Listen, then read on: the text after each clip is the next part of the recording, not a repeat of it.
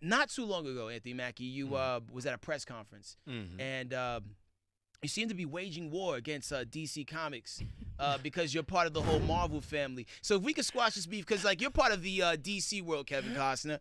Um, he was going pretty hard about DC You going know up. you, know, you, you, you ride with Anthony. You're gonna you're gonna you're gonna feel him, man. But now would be a better time to ever uh, apologize to Superman's dad.